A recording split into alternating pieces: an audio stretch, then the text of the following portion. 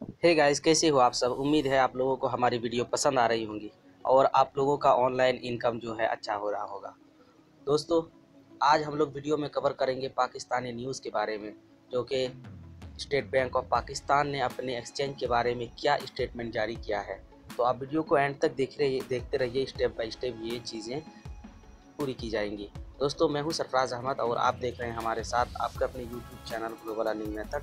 और दोस्तों, जिन्होंने अभी तक मेरा चैनल सब्सक्राइब नहीं किया, ये सब्सक्राइबर बटन दबा के सब्सक्राइब कर लें, बगल में बेल आइकन आएगा, प्रेस कर लें, ताकि आने वाले अपडेट की नोटिफिकेशन आप तक टाइम टू टाइम पहुँचती रहे। ओके फ्रेंड्स तो चलिए मूव करते हैं अपने टॉपिक की तरफ़।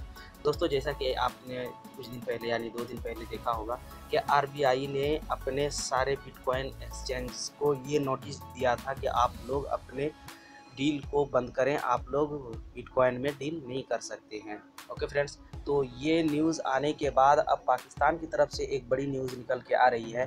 तो पाकिस्तान के bank State Bank of Pakistan का ये कहना है कि बिटकॉइन और अदर क्रिप्टो करेंसी जो है, वो पाकिस्तान में लीगल टेंडर नहीं है। और साफ़ साफ़ पाकिस्तान की S S B S B P यानी कि स्टेट बैंक ऑफ़ पाकिस्तान ने साफ़ साफ़ मना कर दिया है कि आप लोग जो है ट्रांजेक्शन नहीं कर सकते हैं बिटकॉइन में। और वर्चुअल करेंसी वगैरह में डीलिंग बिल्कुल भी बंद करें, क्योंकि हम अपने होल्डर्स के अकाउंट को ये अथॉरिटी नहीं देते हैं कि वो वर्चुअल करेंसी में अपने ट्रांजेक्शन करें। ठीक है दोस्तों? तो ये अपडेट आने के बाद, ये देखिए पाकिस्तान की जो एक्सचेंज है, उर्दू बिट के नाम से वहाँ पे चल रही थी। तो आप इसमें जा, इसमें जो है पाकिस्तानी भाई, वो बिटकॉइन की डीलिंग करते थे अपने बैंक से। ये बैंक से टाइप होकर था।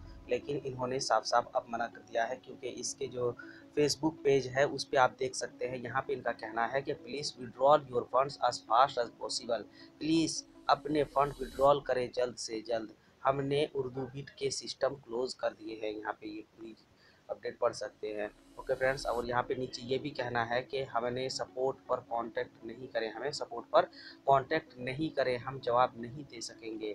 हमने सपोर्ट सिस्टम क्लोज कर दिए हैं। ओके फ्रेंड्स तो यहाँ पे आप उन पूरी कमेंट्स वगैरह देख सकते हैं। कमेंट का जो है रिप्लाई भी कर रहे हैं उर्दू भी।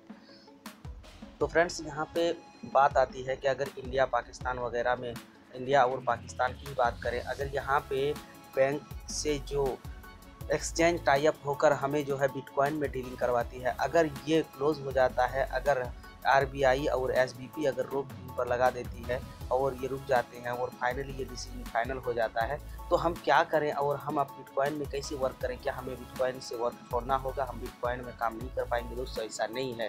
देखिए, बहुत लोग सोच रहे हैं कि बिटकॉइन को बैन कर दिया है आरबीआई ने या फिर स्टेट बैंक ऑफ़ पाकिस्तान ने। तो ये बैन नहीं किया, बल्कि आरबीआई कौन होते हैं और स्टेट बैंक ऑफ़ पाकिस्तान कौन होते हैं बिटकॉइन को बैन करने वाले? क्योंकि बिटकॉइन एक डिसेंट्रलाइज कॉइन है और इसका सिस्टम जो है पूरे वर्ल्ड में चलता है। आरबीआई सिर्फ़ इंडिया तक सीमित है और इंडिया ही में इसका, इसकी हुकूमत चल सकती है। लिहाजा ये सिर्फ़ ये कर सकते हैं आरबीआई के अपने बैंकों को ये रोक लगा सकते हैं कि आप बिटकॉइन में डीलिंग ना करें बिटकॉइन में डील नहीं कर सकते हो। लेकिन दोस्तों, अगर आप लोग फिर भी बिटकॉइन में वर्क कर रहे हैं अच्छा खासा आपका पोर्टफोलियो बन रहा है बिटकॉइन से और आप छोड़ना नहीं चाहते हैं तो सही चीज़ है आप वर्क कीजिए क्योंकि दोस्तों बहुत सारे रास्ते हैं, बहुत सारे तरीके हैं जहाँ से आप अपने बैंक में अपना फंड जो है विड्रॉल ले सकते हैं। लेकिन दोस्तों, अगर आप चाहते हैं कि इसका तरीका आपको मालूम होना हो और आप सीखना चाहते हो तो दोस्तों, मैं एक सीरीज़ शुरू करने वाला हूँ, जहाँ पे आप लोगों को वो सारे अकाउंट्स बनाने के तरीके और उनके वेरीफाई वगैरह करने के और उसके यूज़ करने के सारे तरीके और मेथड बताए जाएँगे, जहाँ से आप बिटकॉइन में डील करके बिटकॉइन में वर्क करके उनके फंड को ले सकते हो। तो कमेंट बॉक्स जो है अवेलेबल रहेगा, आप कमेंट करके हमें बताएँ। अगर ज़्यादातर लोग इंटरेस्टेड रहेंगे तो मैं वीडियो लाऊँगा सीरीज़। और डे बाय डे आपको वीडियो मिलते रहेंगे दो तीन अकाउंट्स के, दो तीन जगहों के, दो तीन वेबसाइट के। और अगर आप लोग इंटरेस्टेड नहीं हैं तो फिर ये सीरीज़ बनाने का कोई मतलब नहीं रखता है। क्योंकि दोस्तों, अगर वीडियो बनाए और उससे फ़ायदा ना हो, उससे लोग जो है अपने कुछ हासिल ना करें तो फिर वो वीडियो बेकार हो जाता है। ठीक है फ्रेंड्स तो बस आज के लिए इतना ही अपडेट था कि पाकिस्तान ने, पाकिस्तान के बैंक यानी स्टेट बैंक ऑफ़ पाकिस्तान ने भी डीलिंग जो है आर की तरह क्लोज कर दी है आई ने तीन महीने का टाइम पीरियड मांगा है, उनका टाइम पीरियड का कोई पता नहीं, चलता रहा। ठीक है दोस्तों तो बस आज इतना ही अपडेट देना था, बाकी नेक्स्ट टाइम कोई नए अपडेट को लेकर हम हाजिर होते हैं आपके सामने, तब तक के लिए गुड बाय